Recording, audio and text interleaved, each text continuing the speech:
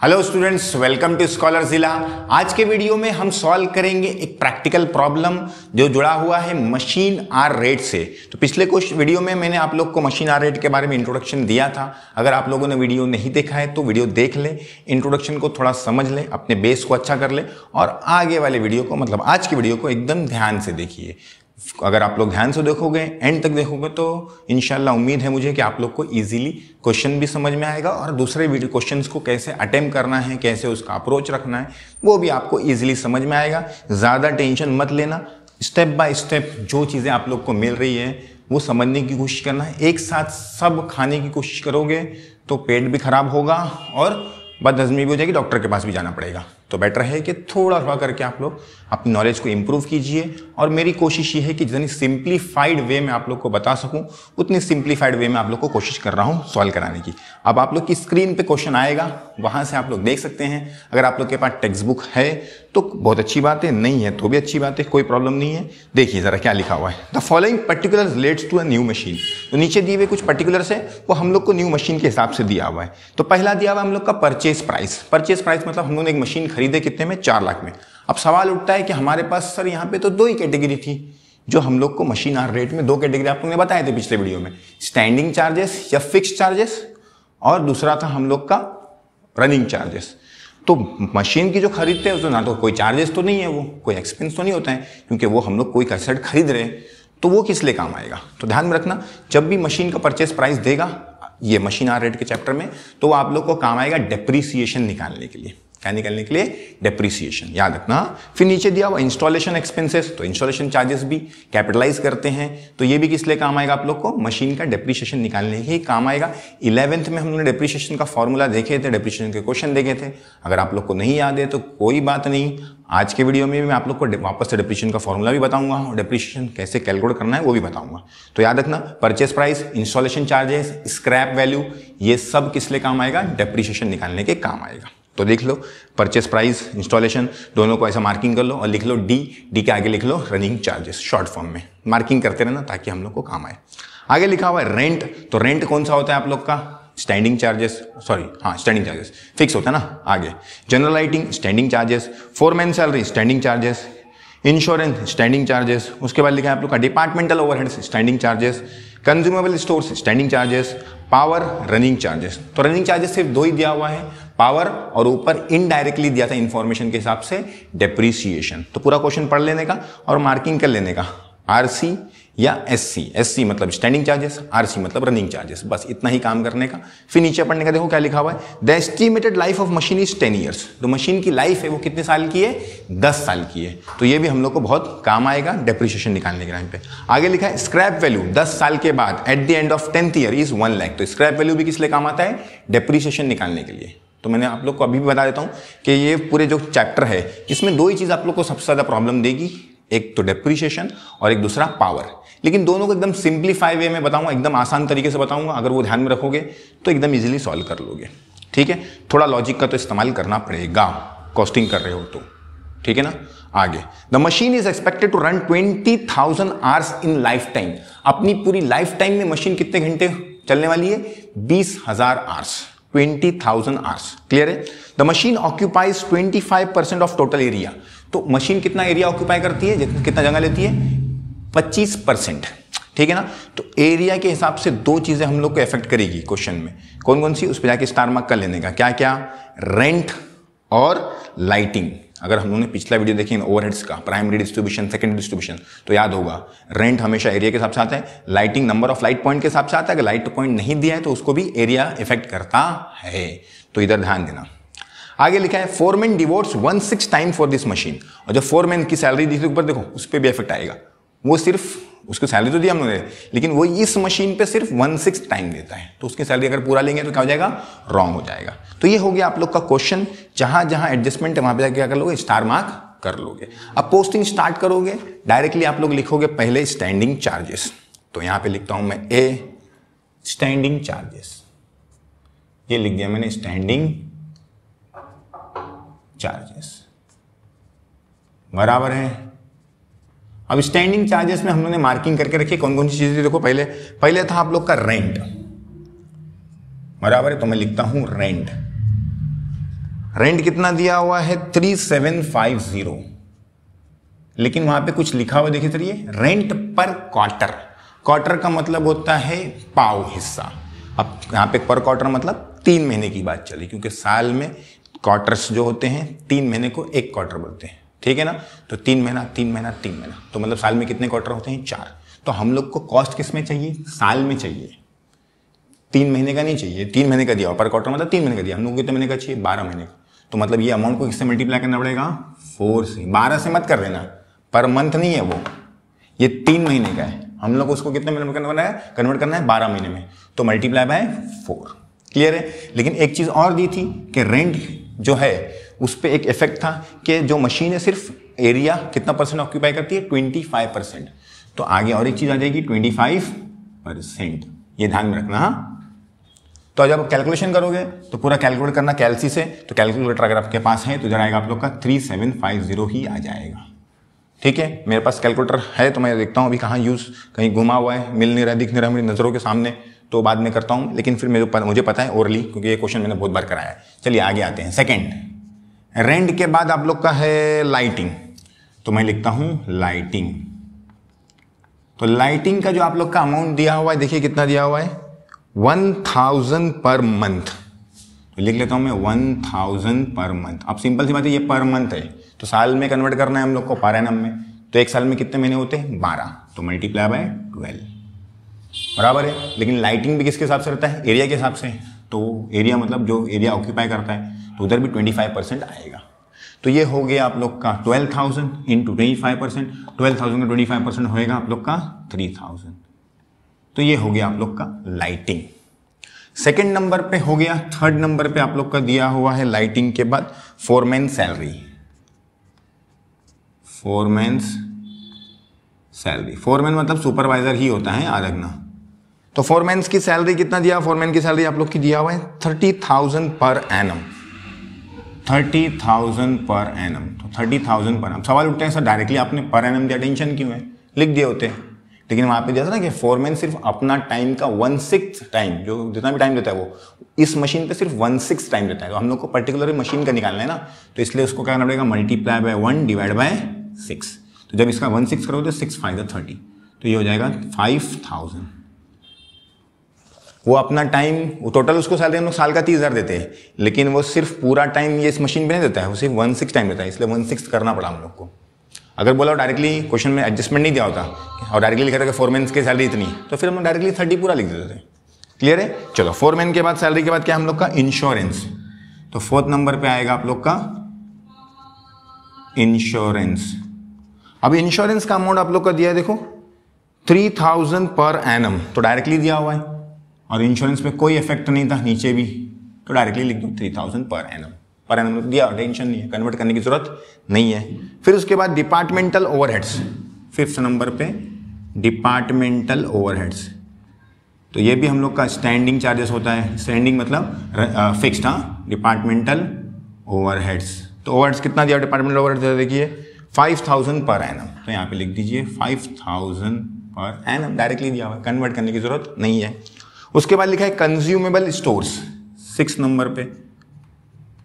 Consumable stores वो कितना दिया हुआ देखिए? फोर थाउज़ेंड पर एनम तो यहाँ पे लिख दिया मैंने four thousand per annum tension नहीं है डायरेक्टली पर एनम में दिया है कोई टेंशन नहीं. सारे हम लोग के स्टैंडिंग चार्जेस हो गए. तो यहाँ पे हम लोग टोटल करेंगे और यहाँ पे लिखेंगे total standing charges total standing charges लिख दिए लोग अब इसका टोटल कीजिए। मैं कैलसी लेके आता हूँ ढूंढ के कहीं से, जहाँ पे मेरे पास पड़ा हुआ है। ठीक है? मतलब आप लोग इसको स्क्रीनशॉट लेना है फ़ोटो लेना है, लिखना है तो लिख सकते हैं। चलिए कैलकुलेटर आ गया है। Three seven five zero three thousand five thousand three thousand five thousand और फोर थाउज़ेंड तो ये है आप लोग का twenty three thousand seven fifty तो मैं यहाँ पे लिख लेता हूँ twenty three thousand seven fifty ये जो कॉस्ट है twenty three thousand seven fifty ये जो स्टैंडिंग चार्जेस आया हम लोग का, वो पूरे साल का है पर एनम का है। हम लोग को उसमें किसको, किसमें कन्वर्ट करने का? एंड में पर आर में कन्वर्ट करने का। अब सवाल उठता है कि, सर पर आर में कन्वर्ट कैसे करेंगे?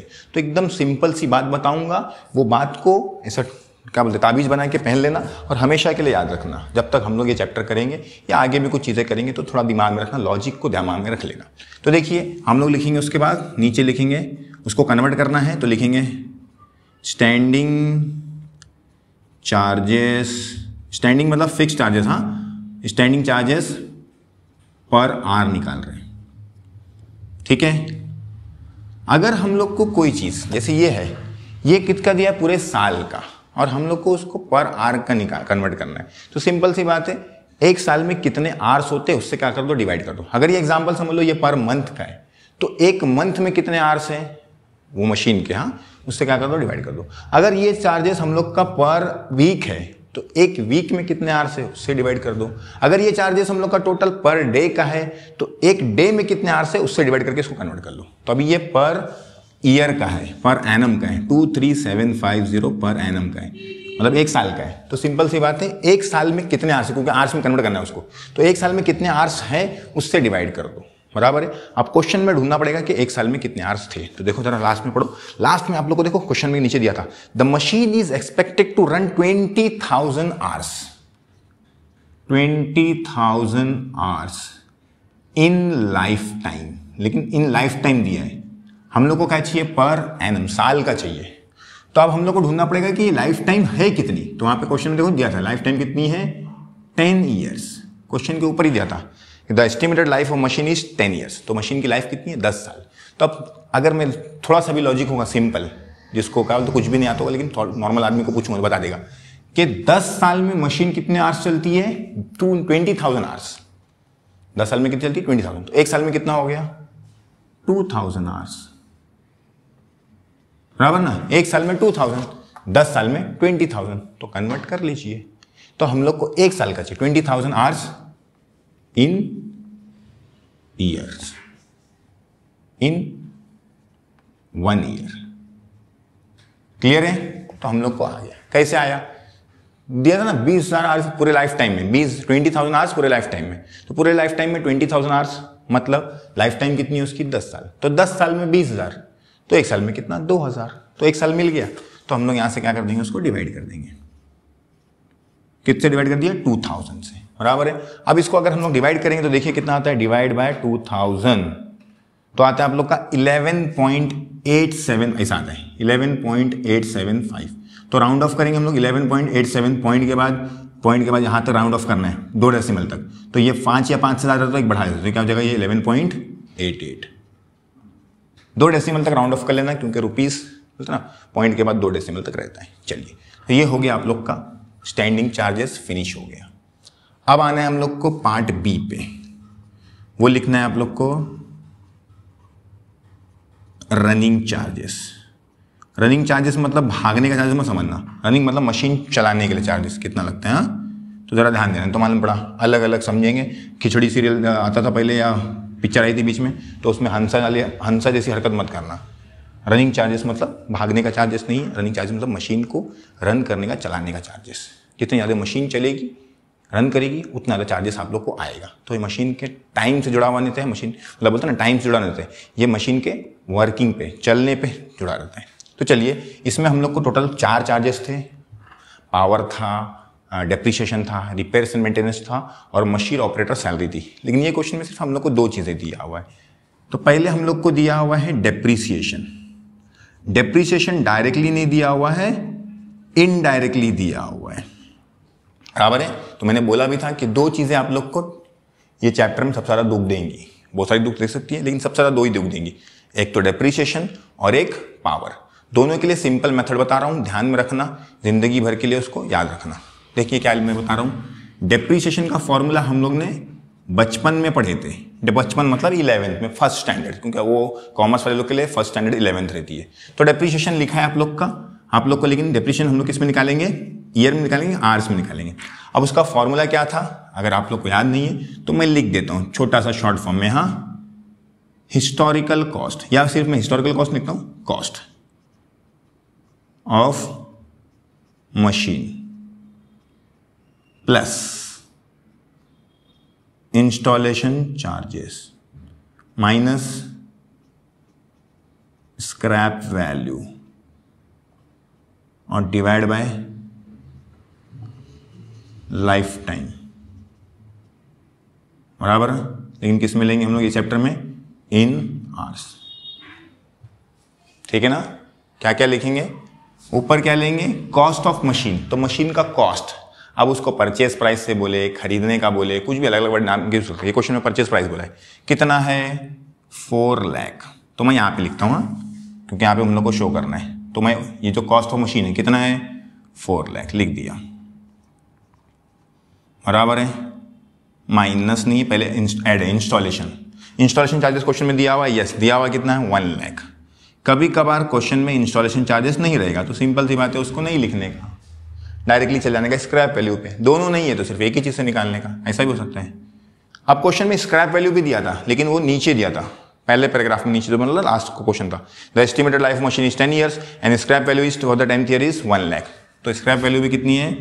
वन लैख बराबर है? और डिवाइडेड बाय क्या दिया है आप लोग का? मशीन लाइफ टाइम बराबर ना? इन आर्स तो मशीन की लाइफ टाइम में आर्स में चाहिए आप लोग को। मशीन की लाइफ किसमें चाहिए? आर्स में। तो मशीन की लाइफ आर्स में चाहिए आप लोग को। तो आप लोग को दिया हुआ क्वेश्चन में कि मशीन की लाइफ आर्स में कितनी है? मशीन की लाइफ आर्स में कितनी आप लोग की? ट्वेंटी थाउज़ेंड था देखो ना? लिखा था वहाँ पे कि machine is expected to run twenty thousand hours in life time तो नीचे क्या कर देंगे? उसकी लाइफ टाइम में कितने आर्स चलती है मशीन ट्वेंटी थाउज़ेंड तो ये हो गया कन्वर्जन कभी कभार हम लोग को उल्टा दिया रहता है। एक साल का दिया रहता है तो हम लोग को उसकी लाइफ टाइम समझो एग्ज़ाम्पल पंद्रह साल है तो एक साल का दो हज़ार, पंद्रह साल का कितना हो जाएगा? तीस हज़ार। तो तीस हज़ार डिवाइड करेंगे तो दिमाग लगाना पड़ेगा हम लोग को। यहाँ पे हम लोग को पूरी ज़िंदगी में मशीन कितनी चलती वो निकालना चाहिए हम लोग को डेप्रिशिएशन के लिए। और यहाँ पे क्या चाहिए? एक साल में। अभी क्योंकि हम लोग का पारायणम था तो एक साल का चाहिए था। ठीक है? तो वो ध्यान में रखने का कि यहाँ पे हम लोग को मशीन की रनिंग जो है मशीन की रनिंग एक साल में कितना चलती है? यहाँ पे चाहिए। और पूरी ज़िंदगी में कितना चलती है, वो डेप्रिशिएशन में चाहिए। क्लियर है? तो लिख दिया मैंने। अब इसको जब डिवाइड करेंगे, हम लोग कट करेंगे तो ये हो जाएगा आप लोग का फोर लैख ये तो नील हो गया। फोर लैख दो ज़ीरो चार ज़ीरो कट चार ज़ीरो चार zero cut two four twenty तो आ गया आप लोग का ट्वेंटी ये तो आप लोग का आर्स में ही है, क्योंकि हम लोग ने आर्स से ही डिवाइड करे। तो डायरेक्टली लिख दो ट्वेंटी क्लियर से कौन से कॉलम में? आर्स में। मैंने बोला भी था कि ये सब चीज़ें आप लोग का स्टैंडिंग चार्जेस आप लोग इसमें निकालना पर एनम में। और जो रनिंग चार्जेस वो किसमें निकालना आप लोग? पारा आर्स में। तो चलिए नेक्स्ट देखिए आप लोग का सेकेंड सेकेंड है आप लोग का पावर ये अलग दुख है एक पावर अब सब लोग को टेंशन आता है कि सर ये पावर कैसा निकालते हैं? मोस्टली स्टूडेंट्स डेप्रिशिएशन भी कर लेते इजीली लेकिन पावर में ना फंस जाते क्योंकि उन लोग ना जो लॉजिक बताता हूँ मैं, उस पर ध्यान तो देते नहीं है और पता नहीं क्या दिमाग लगाते अल्लाह ही बेहतर जाने, उन लोग ही समझे कि क्या दिमाग लगाने की कोशिश करते हैं। लेकिन मैं एकदम सिंपल बताता हूँ, फिर भी क्या दिमाग लगाते हैं? समझ में आते। मैं जो बोल रहा हूँ उस पर ही ध्यान रखना। तो पहले याद रखना कि पावर निकालने के लिए पावर निकालने के लिए आप लोग लिख के ले लो हाँ? दो चीज़ें चाहिए हम लोग को। दो चीज़ों को मल्टीप्लाई करना है। पहला जो है आप लोग का आ, क्या बोलते हैं? इलेक्ट्रिक बिल इन यूनिट्स मतलब इन आर्स बराबर ना? यूनिट्स इन आर्स क्या चाहिए आप लोग को? यूनिट्स इन आर मतलब मशीन चलती है एक घंटा तो कितना यूनिट बिल आता है आप लोग को? पहले क्या चाहिए आप लोग को? लिख के ले लो हाँ हिंदी में चाहिए तो आप लोग हिंदी में लिख लो। क्या बोला मैंने? कि एक घंटा मशीन चलाने के लिए, मशीन चलाने, एक घंटा चलाने को कितना यूनिट बिल आता है? मशीन एक घंटा चलेगी तो कितना यूनिट बिल आएगा? वो हम लोग को यहाँ चाहिए। वापस लिख लो हाँ मशीन एक घंटा चलेगी तो कितना बिल आएगा? कितना बिल मतलब रुपीज़ में नहीं हाँ यूनिट्स में दिया रहेगा आपको कितने यूनिट बिल आएगा? ठीक है? तो कितना यूनिट बिल आएगा? तो देखो क्वेश्चन में दिया हुआ है। पावर टू यूनिट्स पर आर क्लियरली मेंशन लिखा है, देखो क्वेश्चन में। बराबर ना? तो एक घंटे में कितना यूनिट दो यूनिट तो पहला काम हो गया हम लोग का। पहला काम क्या है? कि एक आर में कितना यूनिट बिल आता है, वो चाहिए हम लोग को। एक आर्स में हाँ एक आर में, क्योंकि हम लोग को यहाँ पे कन्वर्जन आर का चाहिए। एक आर में कितना यूनिट बिल आता है, वो पहले चाहिए पावर के लिए। दूसरा हम लोग को चाहिए कि एक यूनिट दूसरा क्या चाहिए? कॉस्ट ऑफ़ वन यूनिट यहाँ पे मैं लिख रहा हूँ, यूनिट्स इन आर्स। बराबर है? एक घंटा मशीन चलेगी तो कितना यूनिट बिल आएगा यहाँ पे चाहिए हम लोग को? एक घंटे में कितने यूनिट्स? और एक यूनिट का कॉस्ट क्या है? वो हम लोग को पता करना है। तो क्वेश्चन में देखो दिया है 50 पैसा पर यूनिट। तो यहाँ 50 पैसा मतलब 0.50 पचास पैसा, ऐसा लिखते हैं। तो डायरेक्टली मेंशन किया है। कभी कभार हम लोग को ये कन्वर्ट करके देना पड़ेगा। बोले, वहाँ पे एक यूनिट के बदले पचास यूनिट का दिया होगा तो कन्वर्ट करना पड़ेगा। ठीक है? तो ये हो गया आप लोग का टू फाइजा टेन तो मतलब वन रुपीज़ बराबर है? वापस रिपीट कर दे रहा हूँ आप लोग को। क्या चाहिए?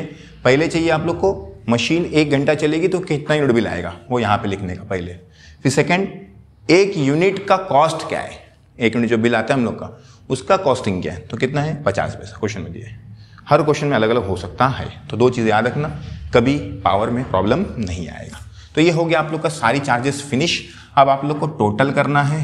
टोटल करने के बाद जो आप लोग का सी आता है, उसको हम लोग बोलते हैं मशीन आर रेट बराबर है? अब मशीन आर रेट थोड़ा ऊपर नीचे हो सकता है। स्ट्रेट लाइन में नहीं हो सकता, थोड़ा ध्यान देना। नहीं तो मान बड़ा सब टेंशन में आएँगे बोले सर क्या है? थोड़ा तो ऐसा दिखता नहीं थोड़ा। हाँ माफ़ करना मेरे को। देखो क्या क्या लिखा है। तो वहाँ पे दिखा ट्वेंटी ट्वेंटी वन और इलेवन कितना था thirty two thirty two point eight eight, बराबर है? तो यहाँ पे लिख लेता हूँ मैं, thirty two point eight eight. तो मतलब अगर मशीन एक घंटा चलेगी तो हम लोग को बत्तीस रुपये अट्ठासी पैसे twenty thirty rupees thirty two rupees eighty eight पैसा हम लोग को क्या होगा? कॉस्ट पड़ेगा। तो ये हो गया हम लोग का मशीन आर रेट के कंप्यूटेशन का question.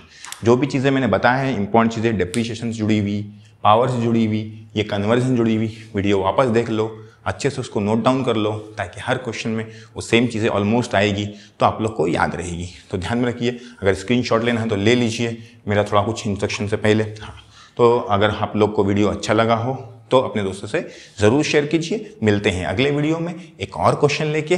Thank you very much